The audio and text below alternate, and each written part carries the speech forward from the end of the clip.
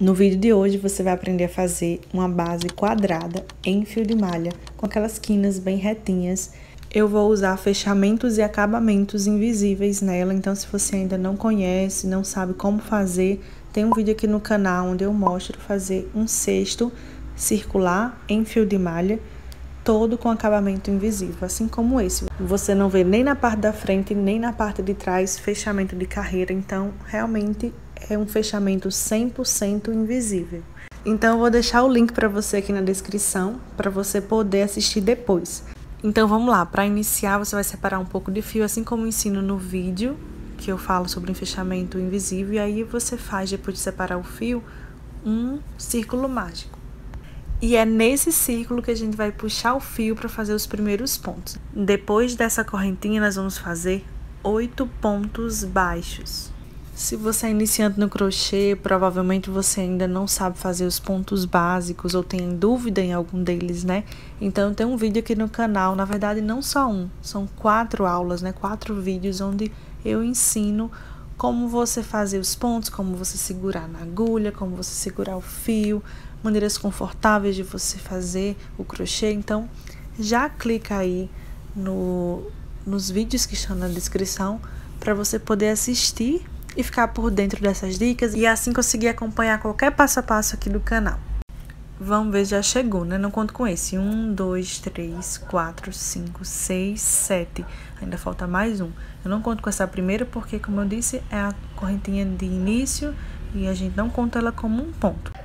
Agora eu fecho esse círculo fecho ele por completo, puxo bem, e essa correntinha, que foi aquela primeira de início, que a gente não conta ela como um ponto, a gente não conta ela justamente por isso, porque ela vai se esconder atrás do ponto. Uma vez que esse círculo foi fechado, agora eu tiro a agulha do ponto, desmancho ele um pouquinho, para que fique essas duas alcinhas, e agora eu pego aquele fio que eu iniciei, né, que eu reservei logo no início, para fechar, né, fazer os fechamentos invisíveis, eu uso ele para fechar esse ponto e puxo ele por completo.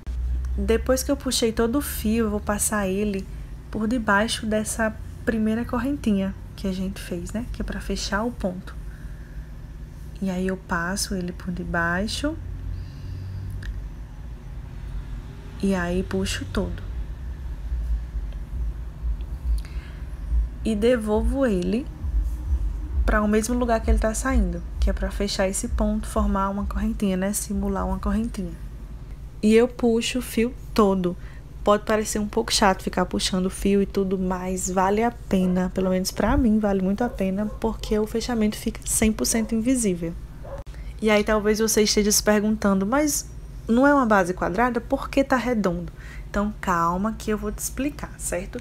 Nós iremos fazer Agora um ponto nesse ponto que não tem alcinhas. Procure aí no seu que você vai ver que não tem alcinha atrás. Então você vai entrar justamente nele e vai puxar o fio, ó, tá vendo? Não tem alcinha. E esse, esse fio justamente vai formar a segunda alcinha dele.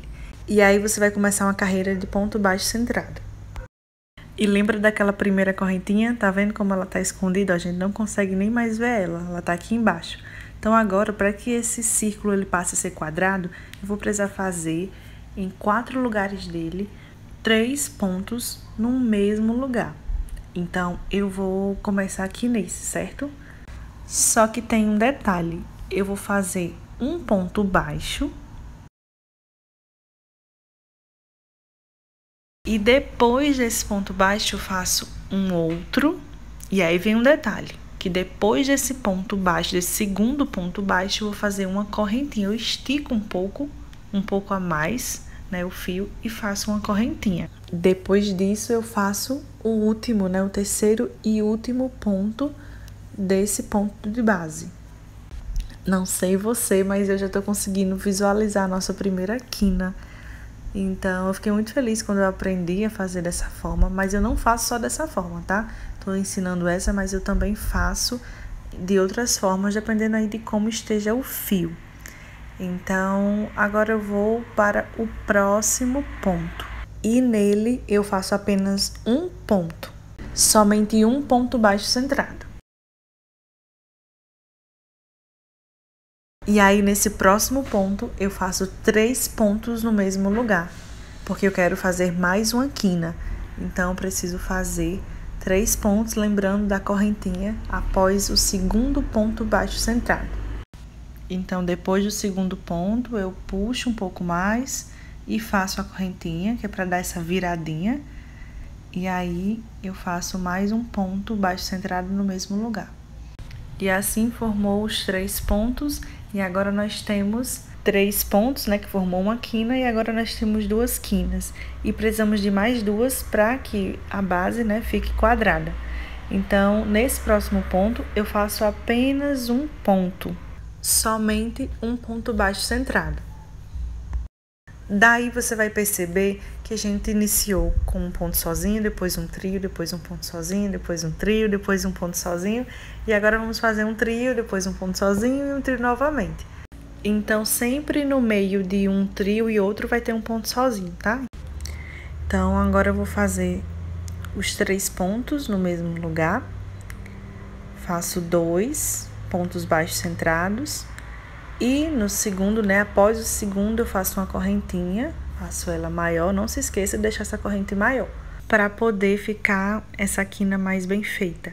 E aí eu faço o último ponto baixo centrado desse grupinho aqui, né, de, de três. E no ponto seguinte eu faço apenas um ponto baixo centrado.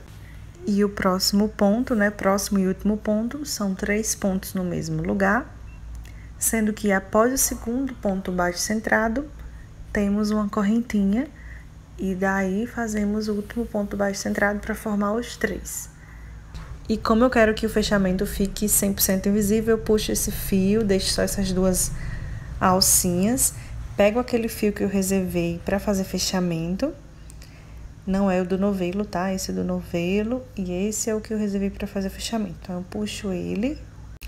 Depois de puxar o fio por completo, eu faço aquele fechamento, né? Aquela simulação da correntinha que a gente já fez na carreira anterior. E pronto. Mais uma carreira feita, né? E agora nós temos um quadradinho. Como eu quero que fique maior, eu vou continuar aqui fazendo pontos. Só que nessa próxima carreira, o que é que vai acontecer? Nós vamos fazer pontos baixos centrados, só que vai ser assim. Vamos continuar fazendo três pontos nas quinas, somente nas quinas. Então, no meio vão ser só os pontos sozinhos. E como é que a gente vai fazer a partir de agora as quinas. Então, no ponto do meio, né, são três pontos. No ponto do meio, nós vamos fazer três pontos no mesmo lugar, somente nele. E nos outros, a gente vai fazer apenas um ponto em cada ponto de base. Então, vamos lá, eu vou fazendo aqui, quando eu chegar na quina, eu vou mostrar para você como você tem que fazer, tá? E se você tá gostando desse passo a passo, tá sendo útil para você, já passa aí a agulha no botão curtir para ajudar o canal a crescer e também para que eu fique sabendo que é desse tipo de conteúdo que você gosta. E o próximo ponto é o ponto do meio, aquele que eu vou mostrar para você como você tem que fazer. Então você vai fazer aqui nele três pontos, assim como a gente fez na outra carreira. Três pontos no mesmo lugar.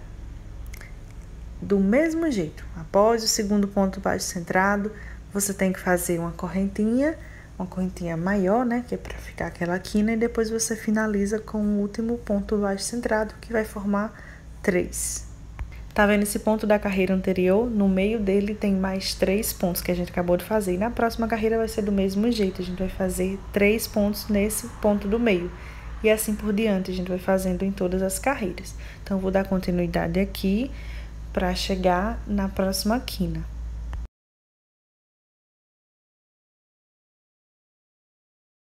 Cheguei nessa próxima quina, faço três pontos baixos centrados no mesmo lugar, lembrando da correntinha, e eu vou fazer isso por toda a carreira.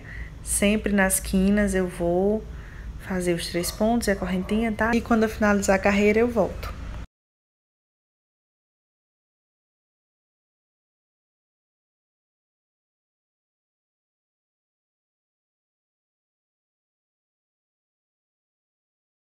E antes de fechar o último ponto dessa carreira, eu pego aquele fio que eu reservei para fazer o fechamento e faço a mesma coisa que a gente fez na carreira anterior. Puxo todo o fio e simulo uma correntinha. E vale muito a pena esse fechamento, porque tanto na parte de trás como na parte da frente fica o fechamento totalmente invisível. Então agora eu vou procurar aqui o local onde tem tá faltando uma alcinha, né? O ponto que tá faltando uma alcinha, esse aqui é o fio que eu separei para fazer o fechamento e agora eu vou puxar o fio que vem do novelo. E quantas carreiras eu quiser fazer, eu vou fazendo dessa mesma forma, tá? Essa vai ser do mesmo jeito da anterior. Os pontos do meio são um ponto em cada ponto de base, isso em cada carreira vai ser assim. E somente nas quinas, no ponto do meio, né, que vai ser três pontos no mesmo lugar. Quando eu finalizar essa carreira, eu volto para dizer o próximo passo.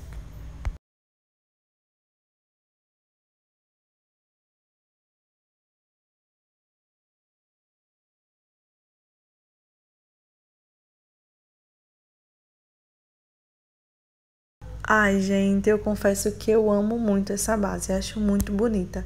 Agora o próximo passo é fazer pontos baixíssimos por toda a base. E eu faço esses pontos com aquele fio que eu reservei. Eu puxo ele por aqui e vou fazendo ponto baixíssimo. Não sei se esse é seu primeiro sexto quadrado ou se você já faz de outra forma. Se você faz diferente, me diz aí como é que você faz. Eu gosto sempre de aprender formas novas de se fazer e cada vez aí melhorando o meu trabalho.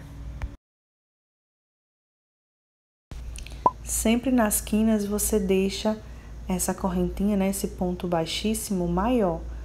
Ó, por exemplo, né, aqui eu fiz, não deixei. E daí não fica bem marcadinho a quina. Então a dica é você deixar ele maior essa alcinha maior e fazer o ponto baixíssimo. E aí ajuda a marcar ainda mais essa quina. Tá vendo? Fica bem marcadinho. Agora eu vou puxar esse fio e vou simular essa última correntinha. Passo o fio por debaixo dessa primeira correntinha e depois devolvo ele para essa última correntinha, né? Que é a correntinha que ele tá saindo. Então, ajeito aqui os pontos e pronto, temos uma base quadrada perfeita. Espero que você tenha conseguido reproduzir. Se você ficou com alguma dúvida, não esquece de deixar aqui nos comentários que eu tô sempre voltando aqui para responder, tá bom? Então, tchau, tchau e até o próximo vídeo.